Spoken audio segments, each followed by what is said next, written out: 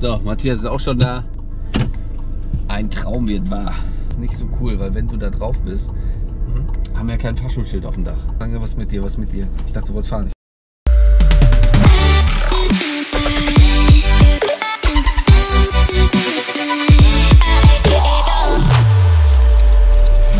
muss auch einschalten, ne? sonst äh, bringt ja nichts hier. Ne?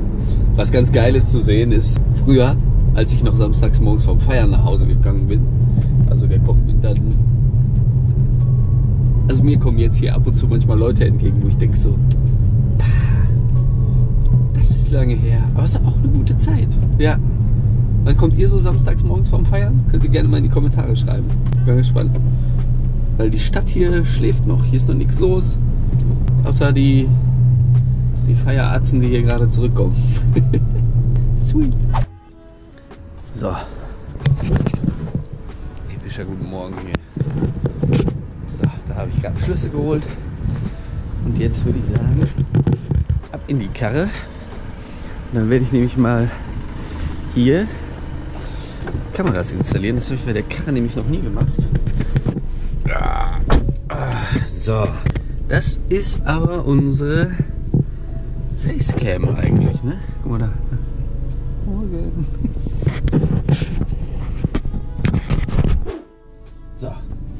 Sieht doch gut aus. Ich gehe noch einmal aus der Karre, checken, ob der Spiegel nicht im Weg ist. Dir, der Spiegel ist doch voll im Weg. Wie soll man das denn? Das ist doch Käse. Wo mache ich die denn? Mache ich die vielleicht unten hin?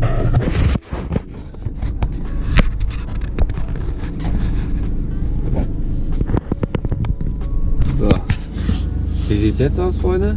Können wir jetzt, so können wir arbeiten oder was? Ich glaube, das geht so. Diesen Knopf drücke und diesen Knopf drücke, dann müsste alles laufen. Wunderbar. So, Matthias ist auch schon da. Ein Traum wird wahr. Moin! Wie geht's? Matthias, gute Nachrichten. Heute habe ich es endlich geschafft. Ich habe alles scharf geschaltet. Ich- Bist du gerade gefahren oder? Ja, von der, also von der Seite da Achso. rüber, weil sonst. Ich dachte du hast einen Fahrstuhl noch, weil du schon fährst und hier sitzt. Ach so, nein, nein, sonst steht die Karre so lange im Schatten. Ach so. Ich bin mehr so ein. Ich mag mehr Sonne. Achso. Wie geht's dir? Bist du fit? Ich bin fit, ja. Ja, so für Samstagmorgen. Ja. Klar, fünf Tage Woche ist ein bisschen schwierig, aber. Jetzt kommt meine Brille. Ja. Ja, ja, deswegen habe ich hier auch äh, die Karre halt schon halbwegs in die Sonne gestellt. Und wenn der so ja, 8 Grad warm ist, dann, dann schlägt hier alles. Kann ja schon mal Spiegel gucken. Check mal, wenn du, wenn du. Mach mal kurz Hände so Lenkrad oben dran. Das ist ein bisschen weit weg, weil du. weit? Ja. Weil wenn du mal fix reagieren musst, musst du ja irgendwie, also am besten im Idealfall so lenken können. Mhm. Ja, wenn du, wenn du das so weit hast, Mhm. dann kommst du nachher nicht dran. Also in einer Notsituation. Mhm. Ne? Das ist gut.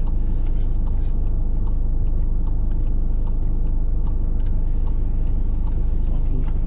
Äh, Du hast ja da jetzt auf L gestellt Mhm. und jetzt kannst du das Ding bewegen wie Xbox oder Playstation einfach, genau. Wie so ein. Ich weiß gar nicht, wie der Knüppel es auch Steuerkreuz nicht, aber das andere Ding. Mhm, ich weiß, was du meinst. Ja. Nice. Gut. Ja, ja, dann cruisen wir gleich Richtung Autobahn Mhm. und dann schauen wir mal, wo wir da landen. Genau, ja, warte, bleib kurz stehen, stopp, stopp. Das war direkt zu viel am Samstagmorgen. Warum streame ich über Twitch? Manchmal, wenn ich über YouTube streame, ist es einfach im Chat eine Vollkatastrophe. Da sind viele Vollidioten unterwegs. Da hast du keinen vernünftigen Chat, da können sich die Leute nicht unterhalten. Und dann Twitch ist irgendwie eine coole Stream-Plattform. Die Qualität an Zuschauern auf Twitch ist deutlich höher. Okay. Äh, Es sind nicht so viele, aber wenn auf YouTube irgendwie manchmal 200 Leute gucken, sind davon 50 Vollidioten. Ja. Und dann schreibt einer, oh, geile Piep oder zeigt mal Piep und Piep und das würde ich gerne mal Piep und dann denkst du dir, was ist das denn? Warte, warte, warte, warte. Hm, immer vier. Eins, zwei, drei. Genau. Dann, dann hast du Fahrschul-Style. Alles andere ist so normale Menschen-Style. Lass die Zeit, langsam, langsam, langsam, langsam.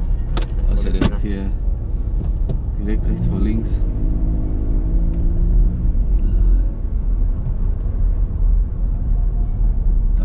Links weiter.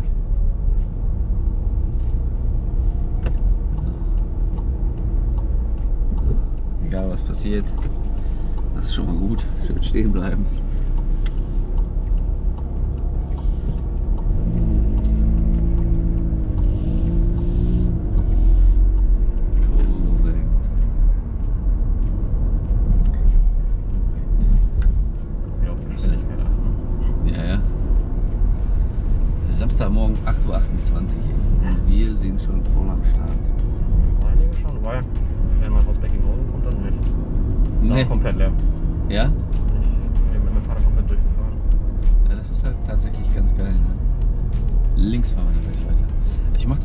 Ganz gerne, Samstagmorgen Fahrstunden, weil dann äh, schaffst du halt viel. Das, was du so in der Woche brauchst du halt, also locker drei, drei Fahrstunden dafür, für das, was du hier in zwei abreißen kannst. Jetzt mal auf die Autobahn kommt, glaube ich, ist halt schon eine Stunde um. so ungefähr, ja.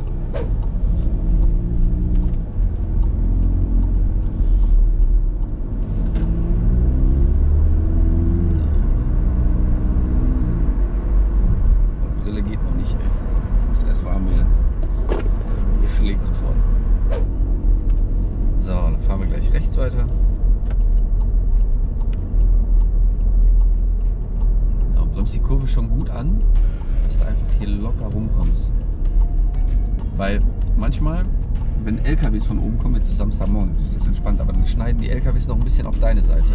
Und wenn du dann zu schnell bist, dann ähm, fällt dir das in der Kurve schwer, da noch drauf zu reagieren.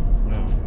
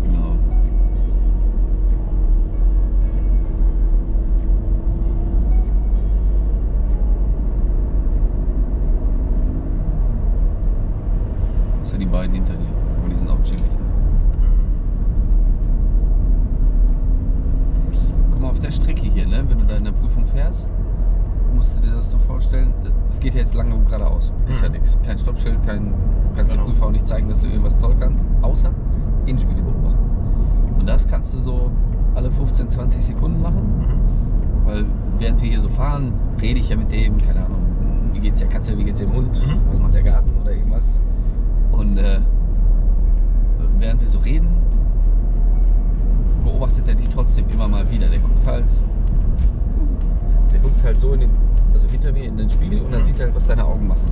Wenn du zwischendurch immer wieder, wie gesagt, diese 15, 20 Sekunden in den Spiegel guckst, ist der lucky. Genau. Sicherlich auch nochmal einmal hinten ab. Einfach so. Dass das passt. Genau. Und dann lässt er dich in Anführungszeichen so ein bisschen später mit der Beobachtung in Ruhe. Weil, ja, wenn er am Anfang gesehen hat, dass du die ganze Zeit gut guckst, dann braucht der da auch nicht so penetrant die ganze Zeit immer so machen. Ja, locker, locker, locker, locker, locker, locker. Also, wenn du das in der Prüfung machst, das machst du einmal, danach ist schlecht. Okay. Danach fahren wir rechts ran und dann sagt er so, "Mm, Matthias, äh, äh, frühes Hochschalten, spätes Zurückschalten und umweltschonende Fahrweise ist ja, äh, dann kriegen wir direkt die rote Karte.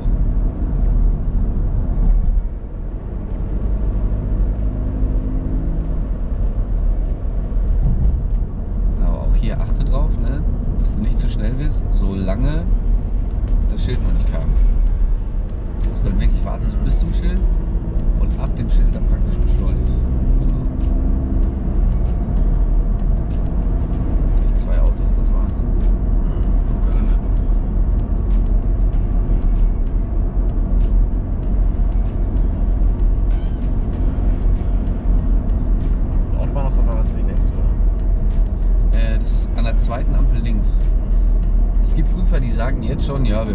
Der zweiten Ampel links, Mhm. einfach um dir das leicht zu machen. Aber wir bleiben erstmal noch auf der Spur. Mhm. Äh, wichtig ist, wenn du die Spur wechselst auf die linke Seite, dass du immer die Reihenfolge einhältst und das also alles nacheinander machst, nichts nichts zusammen machst. Das heißt, du guckst erst in den Innenspiegel, dann in den Außenspiegel, dann machst du nur einen Seitenblick, also keinen richtigen Schulterblick und dann kannst du die Spur wechseln. Das Ganze nicht kombinieren, weil sonst hat der Prüfer ein Problem, das auch zu erkennen. Und du darfst nicht rechts überholen. Wenn der linke jetzt hier langsamer wird, musst du halt auch auf seiner Geschwindigkeit bleiben. So, jetzt kannst du schon mal einen Blinker anwerfen. Genau. So. Ich kann aber auf der Spur bleiben. Nee, nee, du musst jetzt genau nochmal einen Seitenblick und dann gehst du rüber. Und dann bleib von zwei Spuren, die du hast, auf der rechten erstmal, weil das ist die einfache. Okay. Damit du dann hier auch Ruhe hast und dir gleich alles in Ruhe angucken kannst. Die linke Spur ist immer die zum Überholen. Ach so. Das kannst du später machen, dann ist das Peng, dann kannst du da drauf gehen. Nur in der Prüfung ist das nicht so cool, weil wenn du da drauf bist, Mhm. haben wir kein Fahrschulschild auf dem Dach. Ach so, haben wir keins. Nee. Und dann erkennen die Leute von hinten nicht sofort, dass wir eine Fahrschule sind. Mhm. Und wenn du auf der linken Spur bist und ballerst nicht sofort los, dann fahren die alle hinten drauf und sagen, ja, was mit dir, was mit dir? Ich dachte, du wolltest fahren, ich dachte, du wolltest fahren. Mhm. So, und dann ist die Situation nicht ganz so geil. Deswegen ist immer die rechte die einfachere Spur. Ich hoffe, man hört den Ton. Ich habe sonst in dem anderen Auto hier in der Mitte noch so ein Mikro. Einrichtung, aber das müsste schon gut gehen. Wichtig, dass du jetzt eine richtig große Kurve Das fährst. war wie die Linie dann, ne? Ja, ja, genau. So daneben halt eine schöne Loch. Eine große Kurve halt. Genau so. So. Du darfst ihn nicht überholen, sonst ist Prüfung sofort erledigt. da musst du drauf achten, das ist Okay. halt äh, rechts. Also du darfst nicht mehr rechts überholen. Sobald du außerhalb geschlossener Ortschaft bist, ist rechts überholen verboten. Und ich weiß, dass das viele machen. Der ist halt neben dir und dann ziehen die einfach dran vorbei. Deswegen ist das auch so Gewohnheit. Du fühlst dich so komisch an, das doch nicht zu machen. Wir fahren gleich Richtung Oberhausen weiter. Siehst du, wo das ist? Gut. Wenn der Prüfer dir das sagt, macht Überholen jetzt keinen Sinn mehr. Mhm. Es kann passieren, dass du in der Prüfung hier einen LKW vor dir hast. Äh, dann fahr halt mit 80 oder 90 hinter dem her. Wenn du siehst, wo Oberhausen ist, schmeiß einen Blinker. Jetzt schon? Ja. Damit hinter dir die Leute nicht anfangen, verrückte Überholmanöver zu planen. So. Noch nicht so stark unterbremsen, weil das ist erstmal nur so ein Zubringer. Mhm. Jetzt musst du gucken, wo Oberhausen ist. Rechts. Gut, dann nochmal die Spiegel checken, weil wenn da auch so ein Moped kommt, so wie da hinten, siehst du den? Mhm. Die ziehen manchmal einfach noch so rein oder meinen, das schaffe ich noch. Guck mal links im Spiegel, wie schnell er ist.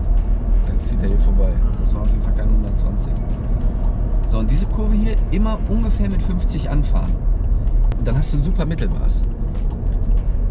Danach kannst du dich aber entscheiden, ob 40 okay ist oder 60 oder 70 okay ist. Das kommt von Kurve zu Kurve an. Also Weil die halt auf Kurve sind. Kurve. Genau, weil manche sind klein. Guck mal, hier ist halt schwierig mit 60 durchzufahren. Jetzt halte ich dir den Innenspiegel zu, guck nur in den Außenspiegel, aber mach alles in Ruhe und nach Reihenfolge. Seitenblick und dann wechselst du. Genau, und jetzt siehst du links den LKW, dann Mhm. gib ein bisschen Gas, dass du schneller wirst, genau. So, aber noch nicht wechseln, noch ist auch verboten. Genau, so ein Seitenblick. Am besten jetzt nochmal machen und dann wechseln. Wenn du dann hier drauf bist, dann erstmal sammeln. Äh, dann nicht sofort, jo, alles klar, der will ja 120, alles klar, Blinker weiter links, Blinker links rüber.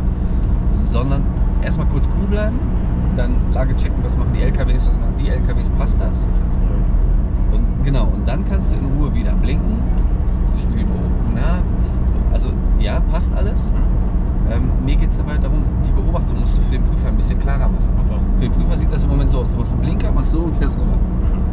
Also dass du wirklich zack, zack, also so langsam diese Stationen abklapperst. Dann kann er das abhaken für sich. Okay, jetzt können wir aber rübergehen. Genau. So, Blinker aus. Und dann kannst du wieder ein bisschen drücken. Und wenn du diese Stationen so abklapperst, ist das für ihn ganz einfach zu erkennen. Aber wenn du so machst, Mhm. dann weiß er nicht, was das, was das läuft.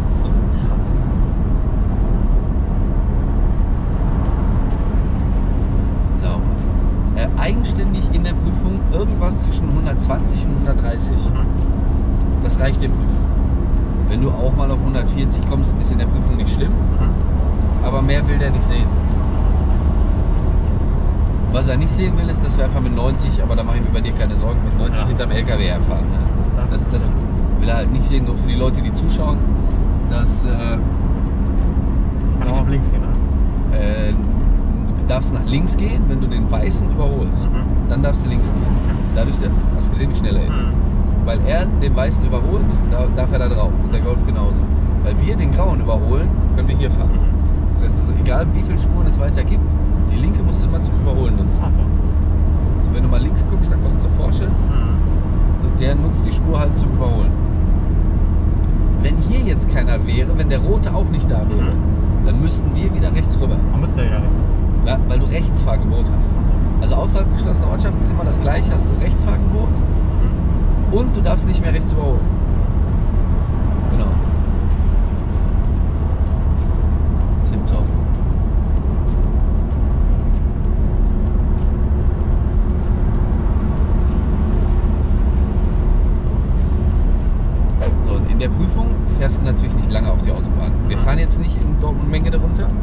Aber der Prüfer würde jetzt sagen, jo, in Dortmund-Menge wollen wir die Autobahn verlassen.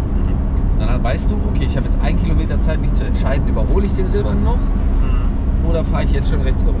Wäre jetzt wahrscheinlich relativ sinnlos, fahren. Den noch zu überholen wäre sinnlos, genau. Also in Anführungszeichen brichst das Überholmanöver ab, checkst, dass hier alles frei ist, Seitenblick, gehst hier rein und dann kannst du schon, da kommen die 300 Meter Marken, da kannst du dann schon den Blinker anmachen und dann kannst du die Autobahn verlassen.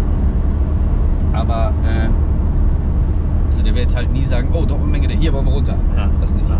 Guck mal, jetzt musst du zum Beispiel rechts rüber. Jetzt? Ja, also nur auf die rechte Spur, weil du niemanden mehr überholst. Unsere Autobahn ist ja dreispurig hier, das ist jetzt hier die Dortmund-Menge, der Tschüss. Aber hier, oh, fahr mal voraus, schau, check mal die Schilder. Also hier oder? Für Nee, für, guck mal, die haben den Asphalt neu gemacht.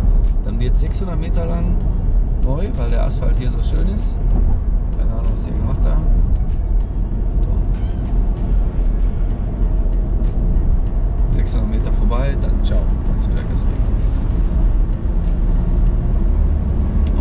Niemanden überholt haben in dieser Phase, musst du halt wieder rechts rüber gehen.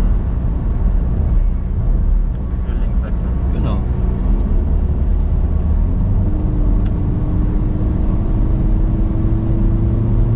Du kannst deine Absicht ruhig ein bisschen früher ankündigen. Also nicht wie in der Stadt, dass du so guckst, links abbiegst, Mhm. sondern dass du ein bisschen früher schon Bescheid gibst. Ach so. Weil wenn du dir vorstellst, guck mal, der Golf, der da rechts fährt, ne? Mhm. wenn der jetzt überholen wollen würde und der würde jetzt blinken, dann hättest du eine Chance, kannst gucken, kannst vielleicht auch links rüber gehen, reinlassen, was weiß ich. Wenn der aber jetzt guckt und blinkt, Mhm. dann ist das schnell und für andere irgendwie schwer zu erkennen. So, wir überholen den, dann ist cool, dass du hier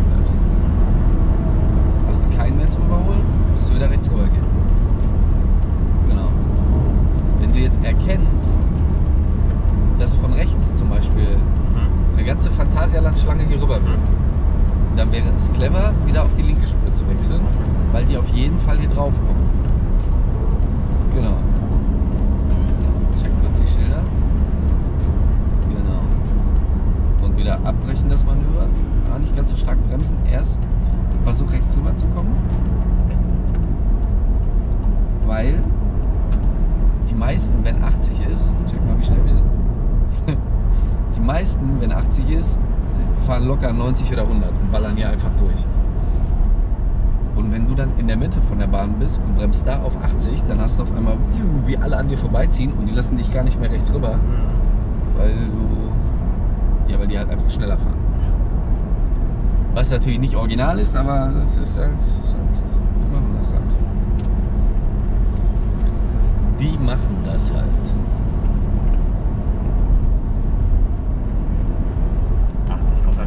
Jetzt nochmal langsamer vor als davor. Das ist übel, ne? Weil, Mhm. ich meine, hier hast du Jetzt ja mit 30 jetzt. Ja, weil du keine Begrenzung hast und nichts. Ne?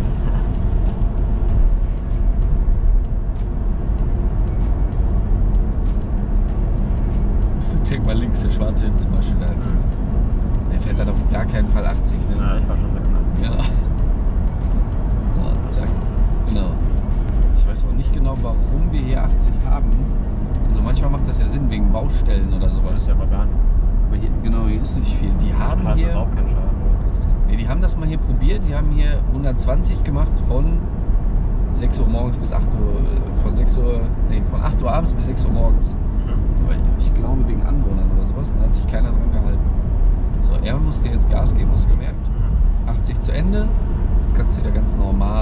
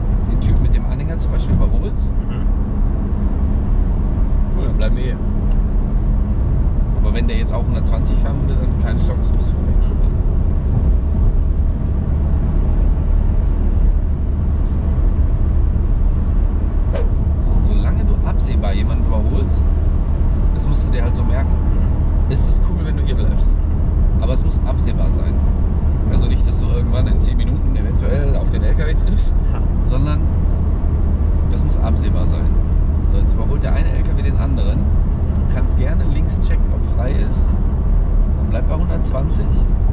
Beobachte den hinter dir. Genau.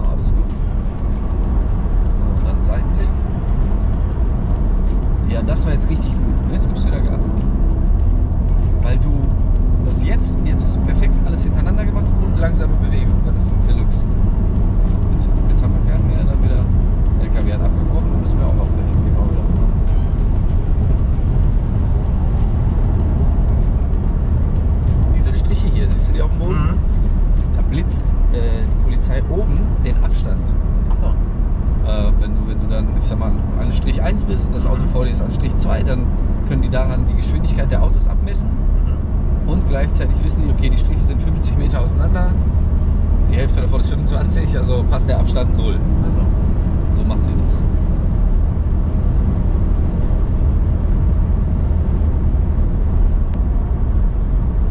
Ja, 80 bei Nässe.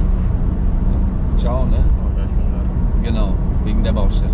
Selbst jetzt müssen wir schon mal gucken, ob das reicht, den LKW zu überholen. Noch Ja. passt das ja irgendwie. Aber meistens bremsen die nicht in acht Autobahnbaustellen noch weiter runter. Genau, siehst du schon. Und jetzt gucken wir, was der LKW macht. Die schätze, der wird seine Geschwindigkeit halten. Und dann zieht er ab. Dann muss er dann Überholmanöver abbrechen, zurückgehen und die rechte Spur halten.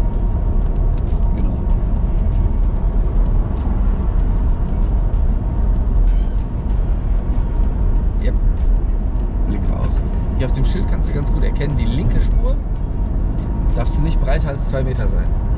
Also der Bulli, der da hinten fährt zum Beispiel, ich schätze, der fährt da, das ist nicht gut, was er da macht. Ja. So, in Recklinghausen Süd verlassen wir die Autobahn.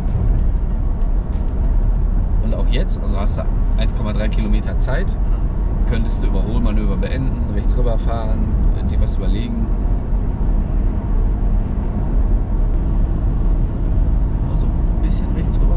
Mir hast du noch ein bisschen Platz. Oh, hier noch ein bisschen. Genau. Ich bin da stabil. So. Eig Ja, eigentlich wäre da die 300 Meter Marke gekommen, siehst du? Aber Mhm. weil die das hier umbauen irgendwie, kommt die halt jetzt hier. Ab jetzt schmeißt den Blinker an, damit jeder checkt, was du gleich machen willst. So. Du kannst vielleicht kurz Gas wegnehmen, aber langsamer würde ich noch nicht werden. Dann check die Spiegel einmal, dass keiner versucht, da noch rüber zu kommen. Direkt rüber und direkt auf 50 runterbremsen. Ruhig fester bremsen. Noch mehr. Genau, und das reicht und jetzt kannst du locker die Kurve nehmen. Und beim Schaltwagen würde ich dann jetzt sagen, alles klar, 50 und dann dritte Gang. So, aber das ist ja hier chillig.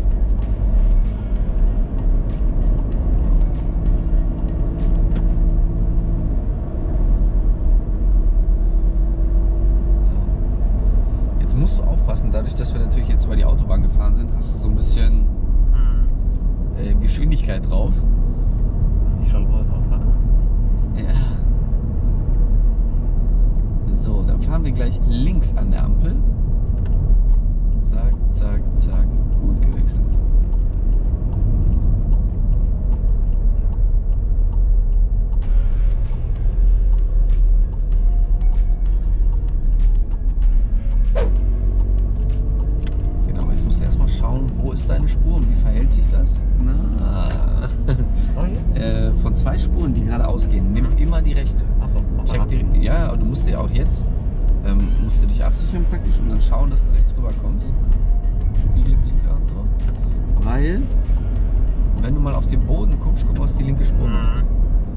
macht sie in jeder Stadt. Falls nicht, ist es ausgeschildert. Aber normalerweise sind, wenn du zwei Spuren hast, die rechte geht immer geradeaus. Mhm. Und wenn du dann beim Abbiegen, du warst ja der Einzige, der links abgebogen ist, dann kannst du dir aussuchen, ob du die oder die nimmst, weil du der Einzige bist. Mhm. Außer es wäre zweispurig dann nicht. Also quasi man Genau, wie bei der Autobahn vorher. War ja Genau, genau. zweispurig. Beim zweispurigen Linksabbiegen musst du deine Spur halten, die, die Mhm. du vorher schon hattest. So im Prinzip. Fahren dann jetzt gleich.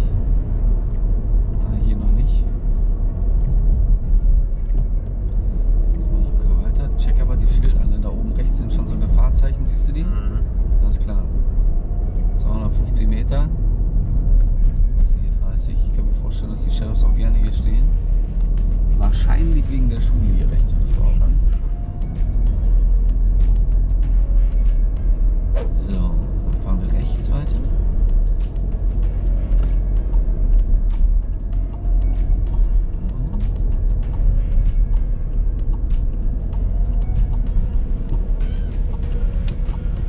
Ne? Direkt nach dem Abbiegen hier so ein Zebrastreifen.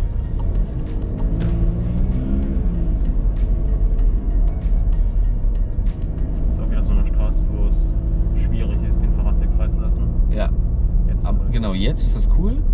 Aber äh, wenn dir halt jemand entgegenkommt, geht's nicht. Was willst du machen? Ne? Also dann musst du zusehen, dass du, dass du da drüber fährst, was einfach nicht passt. Ja. Die nächste Straße links. Zack, zack, zack, genau. Und dann halt so groß, du kannst praktisch diesen Bogen fahren. Genau, damit du sie nicht rasierst.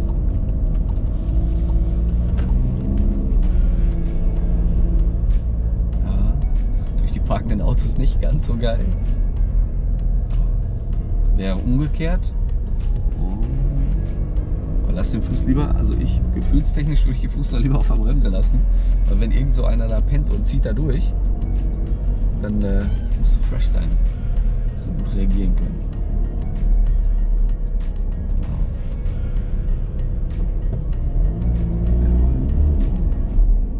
Ist überall, ne? Und die haben überall das Schild hier hingestellt. Gefährlich kreuzen. Gefährliche Kreuzung mit rechts vor links, genau.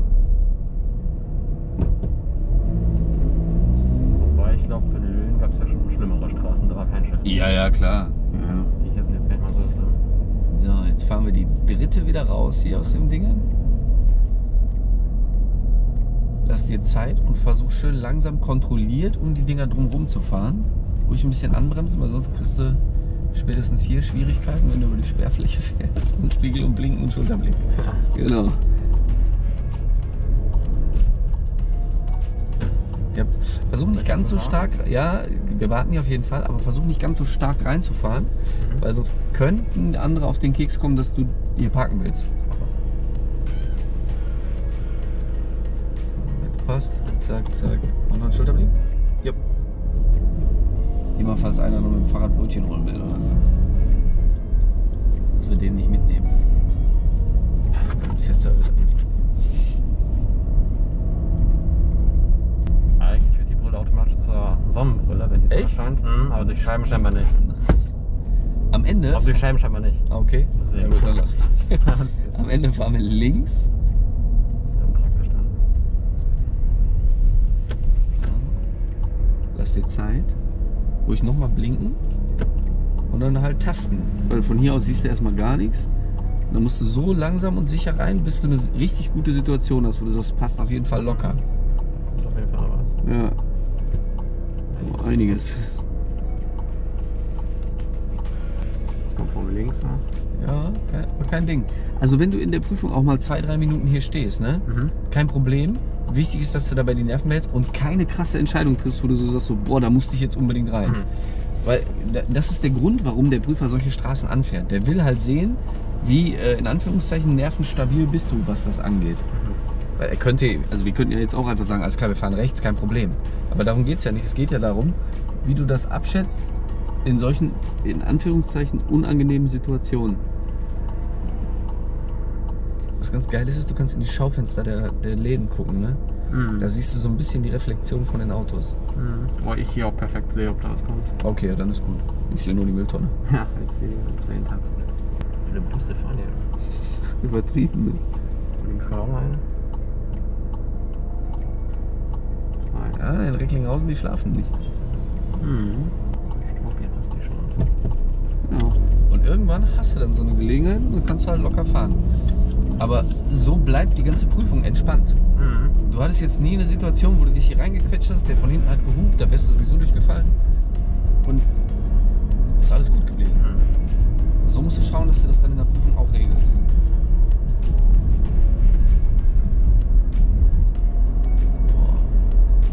Recklinghausen geht die Sonne auch. Ist ja wie ein ehrlich.